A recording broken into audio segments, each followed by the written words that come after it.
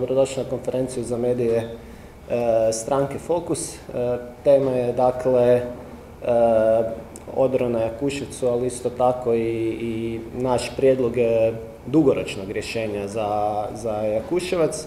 Za početak bih zaželio brz oporavak ozlijeđenima i zapravo izrazio žaljenje što se moralo tako nešto dogoditi da bi se prionulo rješavanju tog problema.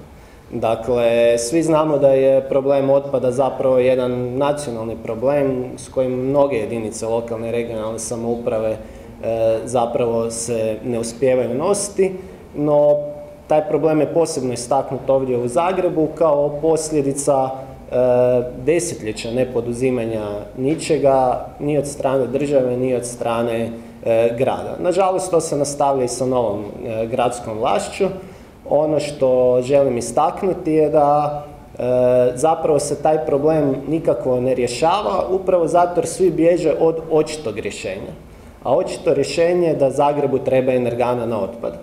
Dakle, energanu na otpad imaju sve članice Europske unije osim, osim Hrvatske, e, imaju Slovenci, imaju Austrijanci, ima jedna divna u, u Kopenhagenu gdje na krovu postoji skijalište, e, park, sa strane stijena za penjanje, dakle to su jedni čisti, čista moderna postrojenja iz kojih zapravo izlaze samo, samo vodena para koliko imaju kvalitetne filtere i od toga ne treba bježati. To je dakle dugoročno rješenje za, za problem otpada u Zagrebu. Dakle, energanan otpad nudi brojne benefite. E, otpad se tada više ne mora odlagati na deponi, zbog čega imamo onečišćenje okoliša, smrad u zraku. E, također od energane dobivamo, umjesto da se taj otpad samo odloži na deponi, mi od energane dobivamo i grijanje, dakle za potrebe grijanja zgrada, poslovnih prostora i ostalo, te električnu energiju. E, isto tako to znači da se ne moraju trošiti fosilna goriva u toplani za proizvodnju, za proizvodnju te energije, pa samim time imamo i velike uštede na toj stavci.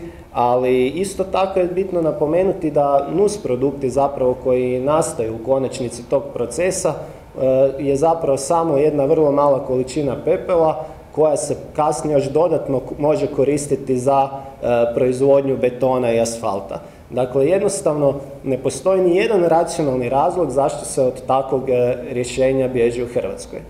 No ono što je također bitno naglasiti je da grad Zagreb to ne može sam napraviti. E, primjerice Toplana, koja je tu bitan faktor kod takvog rješenja, je pod upravljanjem HEP-a. Mi vidimo što se u HEP-u događa u, u zadnje vrijeme, vidimo sada da je direktor HEP-a konačno smijenjen. Evo, ja ću podsjetiti da smo mi iz stranke Fokus prvi rekli kada je izbila afera Plin za cent, kada je gospodin Barbarić u medije pustio one dopise iz kojih je jasno da je i premijer znao sve, ovaj, da je zapravo samo pitanje vremena kad će biti smijenjen, da još samo nije dobio dopis, ali da je njegova smjena zapravo sigurna stvar.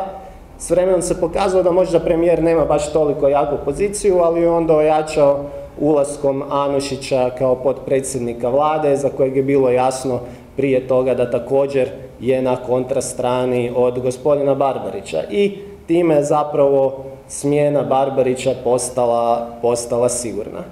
E, ponovit ću za kraj, otpad je velik problem, ali problem koji je riješen. Mnoge zemlje su ga riješile, mi ne trebamo izmišljati nešto novo, rješenja već postoje, treba se preuzeti politička odgovornost, treba se e, odgovorno upravljati, upravljati i gradom i državom. Mi smo to predložili već prije tri godine da se napravi energana u Zagrebu i evo ja se nadam da će e, sada ova situacija stvarno potaknuti vladajuće i na nacionalnoj i na lokalnoj razini da se pomaknu u tom smjeru i da se konačno pristupi dugoročnom rješavanju tog problema.